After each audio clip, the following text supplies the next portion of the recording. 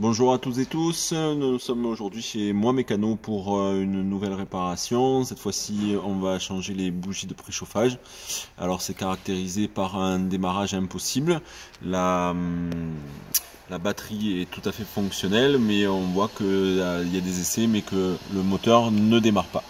Donc euh, voilà, la voiture a 125 000 km, un peu plus même. C'est la de distance à partir de laquelle on peut euh, tout à fait envisager de changer les, bougies de préchauffage sur, euh, un moteur diesel. Donc c'est toujours euh, notre Logan préféré. Et voilà, je vais vous montrer comment est-ce qu'on change des bougies de préchauffage. Alors on enlève d'abord le cache moteur. On enlève ensuite la protection thermique. Un peu cramé. Et là, on peut voir les quatre bougies de préchauffage. Une, deux, trois et quatre. Donc c'est ça qu'il va falloir changer. Et pour ça, on a besoin évidemment de nouvelles bougies. Ça, ce sont les neuves.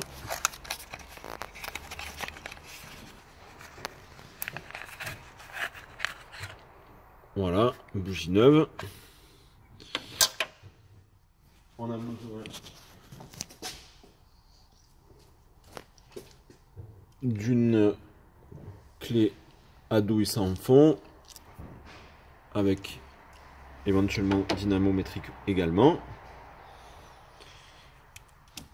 Donc j'en ai, j'en ai changé une au préalable. Donc je vais vous montrer dans un premier temps la différence entre les deux bougies.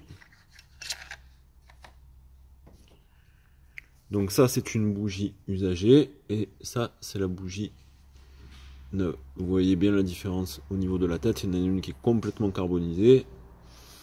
Alors, ça peut se nettoyer aussi parfois, mais à 125 000 km, autant les changer. C'est tout à fait acceptable.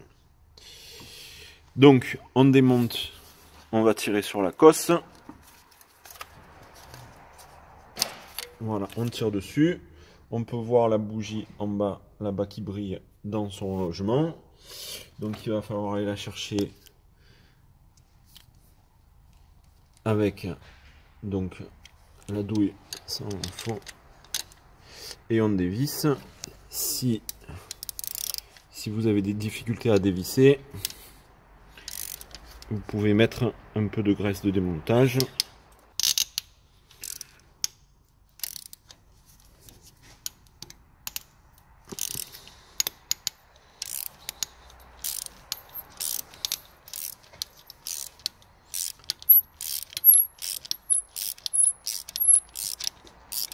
Voilà, c'est une opération que vous allez devoir faire donc quatre fois, une fois pour chacune des cosses.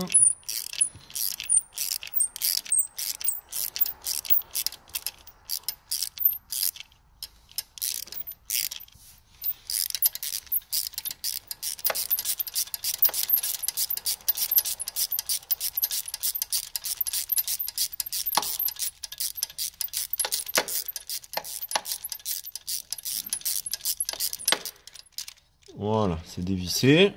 Alors elle est un peu loin, donc on va prendre avec une pince, on va aller la chercher.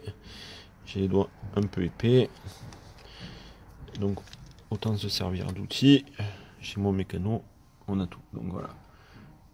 L'ancienne, la nouvelle. Vous voyez bien la différence entre les deux. Donc on la met de côté. On va remettre la nouvelle dans l'emplacement.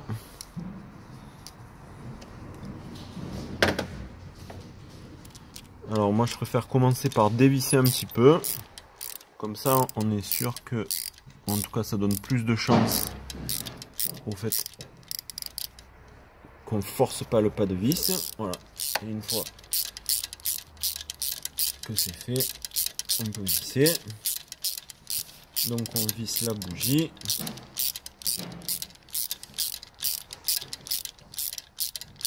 Voilà, il faut jamais trop serrer. Serrera raisonnablement. Le mieux évidemment c'est avec une clé dynamométrique pour mesurer la force qu'on met. le plus important, c'est de ne pas forcer à mort. Voilà, on va serrer raisonnablement. C'est un peu long.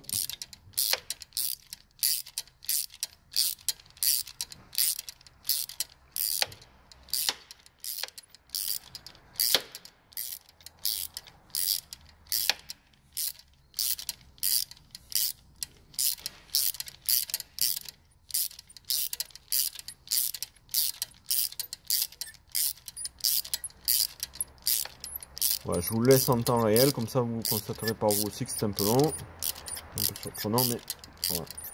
On y arrive.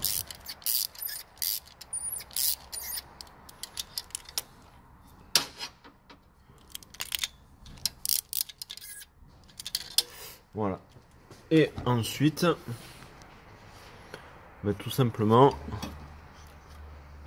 on replace la cosse par-dessus qu'on enfonce bien jusqu'au bout. Voilà, donc pour l'instant j'en ai changé deux. J'en ai encore deux autres à changer. Je vous montre pas tout en vidéo. Si vous avez des questions, n'hésitez pas à les laisser en commentaire. Je vous dis à la prochaine. Et n'oubliez pas, si vous avez l'occasion de vous rendre chez moi mécano, ce sera un plaisir de vous y retrouver si on est au même moment bien sûr. Laissez vos commentaires.